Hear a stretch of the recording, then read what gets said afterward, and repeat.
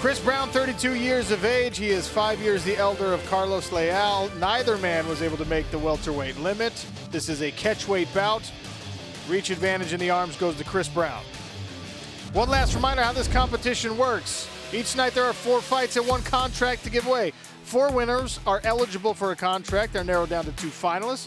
Our celebrity panel and the fans weigh in, choose a contract winner, and that winner appears in the 2022 PFL season. Andrew Glenn will oversee the final bout of the evening. Marina says it's round number one. We are ready to go. You ready? You ready? Chris Brown in the gray, touch of the gloves, the Brazilian in the black trunks. Been looking forward to this one. Leal, very aggressive, Brazilian tornado, and Chris Brown, such an unusual style. Very difficult to deal with. Landed a hook as they parted there. Brown right now in that southpaw stance. There's a back fist. Talk about the unorthodox strike. Yeah. And I tell you what, he uses that lead leg front kick better than anybody out there. Julie mentioned the long winning streak oh. Leal, that was nasty.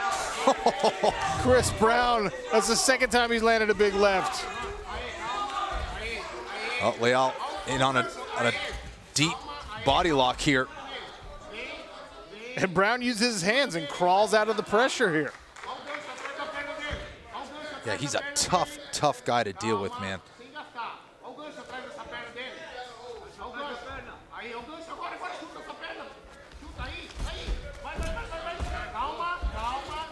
Leal able to get him down temporarily.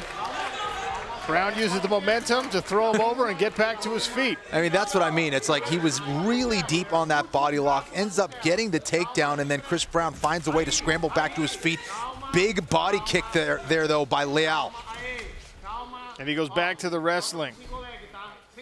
So Carlos Leal, really a tough position for him to be in. He had that first round finish in less than a minute. That was all striking. He knows he's got to put his full skill set on display here. He, he's obviously wanting to wrestle and, and grapple in this fight. But you come away from a, a first round one minute finish, Kenny, and say, what yeah. do I got to do to impress you and earn a contract? I know it. I mean, that night was just crazy, though. I mean, everyone was getting some kind of spectacular finish, and it was almost to his disadvantage that he finished it so quickly. Right. It, you know, then the, the conversation was about, well, what was the competition he was facing? Right. Well, the competition here appears to be relatively stiff as Chris Brown, true to what you said, is unorthodox. He's throwing strikes from every single angle. His stance is weird. Yeah, I mean, he'll throw crescent kicks. He'll throw side kicks to the body, side kicks to that knee repeatedly, step in with the left hand. Look at that kick to the face. Unbelievable. Leal now stalking and uncorking some big-time power here. Ray Lewis, we've seen a lot of different looks only three minutes into this fight. What do you think? Let me tell you something. Carlos Leal is not going to stop coming forward. But what's impressive is Chris Brown, how he gets himself out of these positions, throwing all of these unorthodox shots and kicks outside the leg, inside the leg. I mean, front kicks, you know, to the face. It's it's insane his versatility that he has. But Carlos Leal is not going to stop coming. Already some big, heavy breathing here from Chris Brown, who, as we already stated, came in over the weight limit. That can sometimes be a negative indicator of what the fight camp was like. And now Leal getting real aggressive. Yeah, I mean, Leal is going to come with pressure, and you better be in shape to be able to deal with it. And we're seeing a Chris Brown that is definitely breathing a lot more than when he started this fight. Oh, that was a big right hand. But Chris Brown does come from one of the best camps in the world at Jackson Winkeljohn in Albuquerque, New Mexico. But Leal doesn't seem to care. He just keeps coming forward and throwing shot after shot. The, the pressure here from Carlos Leal appears to be a little more disciplined as Chris Brown has lost the mouthpiece, T. Wood. He lost a mouthpiece, but this fight is either going to go one way. Chris Brown's going to catch him on one of these weird attacks that we're not used to seeing, or he's going to get pressure the entire fight. No other way. So I think the referee should stay close. There's the pressure that Tyron was just talking about. Carlos Leal once again grabs hold of Chris Brown. Now he'll try and move around to the back.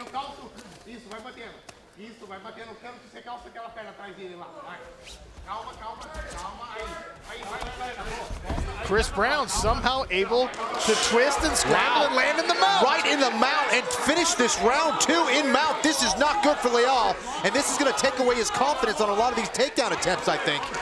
And the right hand goes to work. Carlos Leal's head bounced off the canvas on one of those. You can't underestimate that wrestling background of Chris Brown. That's where he started. And this is accurate, powerful ground and pound as the round comes to a close. Chris Brown will finish on top. What a fascinating oh, first Oh, round, man. Kenny. Yeah, don't ask me to judge that one. That was all over the place. Wow, and Leal seems like he's dealing with a cut right now. What a round. Massive output from both fighters. Oh, Jeez. Carlos Leal smelled blood when he saw the fatigue of Chris Brown. Now Chris Brown sitting down, taking some deep breaths. A little confidence boost in those final 30 seconds, I think. Yeah, and he needed that one because Leal was winning the round up until that point. May have still won the round, but the way that it finished was boded very well. That is a mount position. That's a very dominant position on the ground for Chris Brown to end that round. Well, and the strikes that he landed from the top were accurate Yes. and they were powerful, significant in every measurable way. Absolutely. And in any form of combat, if you're seeing something for the first time, it's difficult to react well to it. Very unusual style from Chris Brown, and it's working for him here against Leal so far. But the consistency of Leal, the pressure of Leal is something to watch for here. You ready? Do not blink here in round number two. Carlos Leal in the black, Chris Brown in the gray.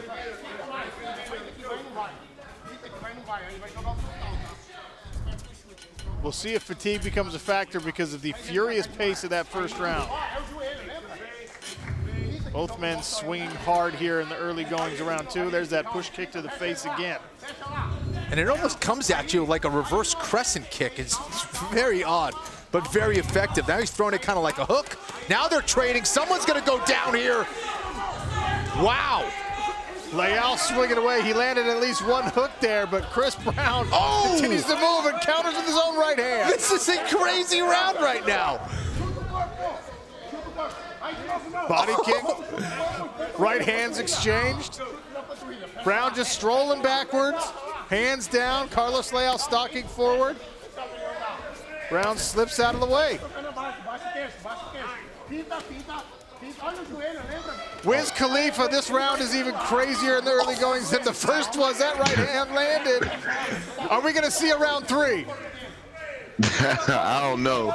These boys are swinging wild. Uh, Brown is unorthodox, but it seems like he's kind of calculated, and Leal is putting the pressure on him. So you never know. There's some hard right hands being thrown, some big kicks, some flying knees. Somebody might go down. See ya. That one just missed. Oh my goodness, the mouthpiece comes out again. Chris Brown, that landed partially. Wow. Leal almost took his head off with that kick. And that movement is just very hard to deal with. He's ducking down, he's getting low, and you know, traditionally you'd never see a striking coach teach you this stuff, but it works for Chris Brown. If you missed Chris Brown's story at the top of the show, this guy got shot, the bullet grazed his head. He got shot in the head and decided he didn't want to be part of that life anymore. And he also beat up 10 guys at a college party. So, yeah, I mean, this guy's the real deal, man. It's, it's tough as they come. I'm going to be honest with you, Kenny. I thought that might have been hyperbole when he told the story, and now that I'm seeing him, it makes a lot more sense. It's like the movie Dodgeball. If you could dodge a bullet, you could dodge a strike. Brown now backing up against the cage. Carlos Leal stalking. Tell you what, massive power output here from Carlos Leal. But there's also the question of hitting him hard and not having him go away. That can be taxing. Left hand lands there for Carlos Leal. I agree with you, Sean, and also from an efficiency standpoint, you know, how much is he putting into these combinations? It seems like he's in tremendous shape, but you got to watch out for these hooks and these crazy counter strikes from Brown as well. Yeah, the traditional head movement, you know, before and after combinations from Carlos Leal doesn't necessarily get him out of danger Yeah. against Chris Brown because of the weird angles that these counter strikes are coming from. There was a right hand that landed and another one for Chris Brown. Appeared to stumble Carlos Leal, at least momentarily. Yeah, and as they say, right, as the cliche says, it's the shots you don't see that hurt you. And look at this, Brown is going to potentially finish on top in this round again. Well, once again, it was Carlos Leal that came in to initiate that grappling exchange, and Brown was just kind of able to wiggle his way to an advantageous position, at least uh, temporarily. Yeah, 100%. He's got that funk style of wrestling where even if you get him down, he finds to, finds a way to Granby roll out. He grabs your leg. He gets back to his feet real well. Look at that. I don't even know what to call that kick. Chris Brown is throwing everything at Carlos Leal, who continues to come forward. Low kick, left hand lands for Brown.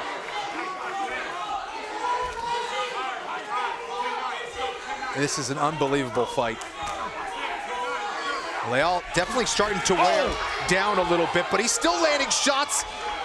And Chris Brown landed a spinning kick from about six inches away somehow to the head of Carlos Leal. Both men breathing deep, trying to find that next gear. He was grabbing a single leg and then threw a head kick. You're not supposed to be able to do those things, Kenny Florian. This is only making sense to Chris Brown, but I, I again, you know, it's got to be so tough to deal with the style like this. Who is going to throw these kind of techniques at you in sparring? Carlos Leal is one of the hottest prospects in the welterweight division in mixed martial arts. He's on a nine-fight winning streak. He's a former LFA champion. And here he finds himself trying to solve a puzzle at the end of round number two. Chris Brown, Carlos Leal. You told me that this fight was going to be good, Kenny Florian. You lied. This fight is not great. good. It is great. no question about it, man. Man, are we entertained right now? What a fight. And look at this shot. I mean, here they are, Leal coming forward like he has been basically from the beginning of this fight. And you have Chris Brown throwing axe kicks, hook kicks from in tight. I mean, this is punching range, and he's landing kicks to the head somehow. Crazy flexibility. How about that? I mean, it just crazy, crazy fight. There's that kick. He's holding the leg, goes upstairs. Almost looks like he's looking away from Shawnee. He's landing strikes. Oh my goodness, just blind strikes, spinning strikes, jumping strikes. Sean O'Connell has torn a hamstring just watching this fight. Round three ahead. There's Carlos Leal. There's Chris Brown. And this is a treat here in our final PFL Challenger Oh. Series bout. It's almost as if our matchmaker and president of fighter operations, Ray Sefo, knew exactly what he was doing in putting this one together. Ah, magical, Ray. Well done. Counter hook from Chris Brown, who waltzes out of danger. Carlos Leal continues to stalk. I mean, there's very, very few welterweights who can deal with the pressure in this kind of fashion. And Chris Brown has such an unusual style. He gets his head out of the way, and it looks like he's in danger from a kick or a knee. But then he throws this tight hook in tight, and he hurts his opponents.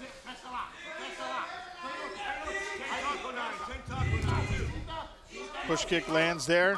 Leal continues to press forward. Brown continues to let him come and counter strikes.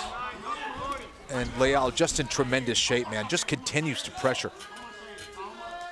Ray Lewis, put this fight into Son, words for me. son, it's so much going on right now. Let me tell you something. Second chances, I'm telling you, Chris Brown is so unorthodox. I mean, you just don't know what the attacks are coming from. How do you train him? How do you defend him? And I'm telling you, Carlos Leal, when I tell you he comes forward, no matter what's going on, I don't know how this is going to end, but somebody going, it's going to end special. Ah, Look, look at that. And that again. That was an incredibly well executed, executed setup on that body lock takedown attempt, but Brown just wiggles out of it, Tyron.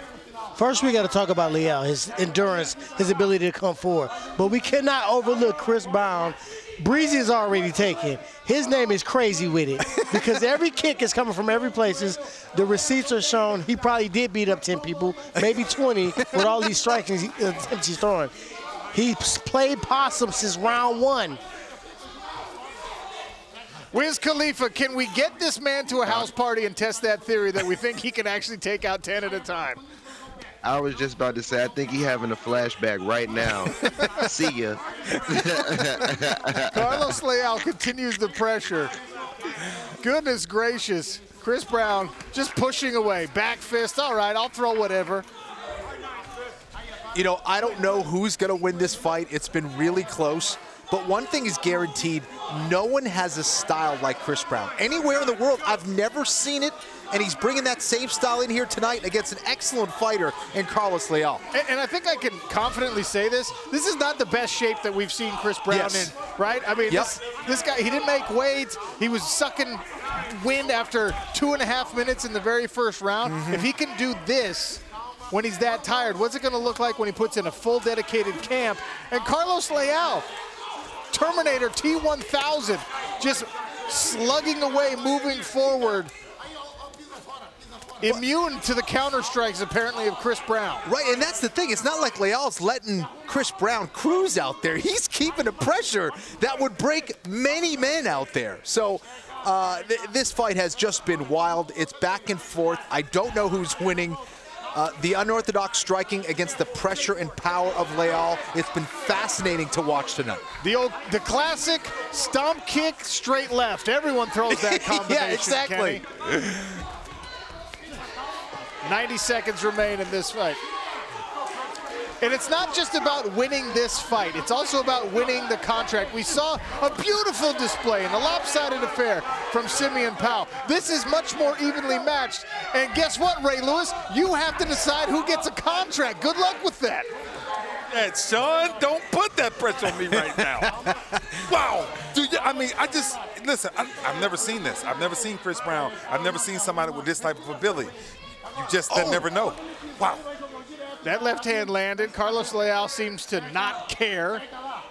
Over 100 strikes landed here for Chris Brown. Uh, Tyron, who's getting a contract? On? We don't even know who's winning this fight. We don't know who's winning this fight, but we do know Carlos Leal is a world champion multiple times. And for Chris Brown to put on this type of fight, I think he's playing possum. I don't even want to say his conditioning. He's roping Leal Lin. He's making him walk into these punches. He's evading the punches and coming up with weird kicks. He's done this since the beginning of the fight. So I'm calling possum.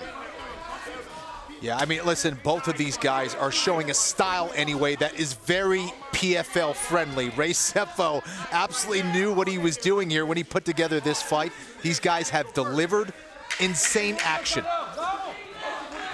Excellent movement and a counter strike there for Chris Brown. He sends up a high kick to finish things up. There's Simeon Powell. He had a beautiful performance in that. He's got to watch this. This fight comes to a close the same way it started with a crazy striking flurry. And I am so happy right now, Kenny Florian, that somebody else has to judge this and tell us who won. You're not lying. We'll have a winner when we return on Fubo TV. All right, Kenny Florian, for a fourth and final time tonight, we go to the judges' scorecards. Judge Jed O'Connor scores the bout 29 28, Leal. Judge Lorenzo Toledo scores it 29 28, Brown. And Judge Michael Tate scores the bout 29 28 for your winner by split decision, Carlos Leal.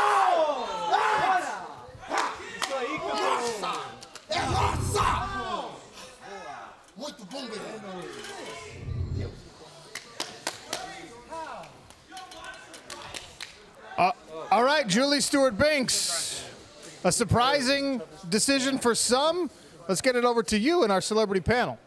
Sean, the reaction with the celebrity panel was very surprised with that decision. Tyron, what do you think about the outcome? First, I need my inhaler. Um, Carlos is the absolute Terminator. He walked down. Chris Brown, he completely gave us the entertainment that we wanted to see, the start that we wanted to see. The decision was very close. We were trying to decide the whole time who was winning. We were just entertained. Both of these guys put on a great show. It was very close. Looked like Leal came away with the win. Very close for our final fight of the PFL Challenger Series. It did not disappoint, Sean.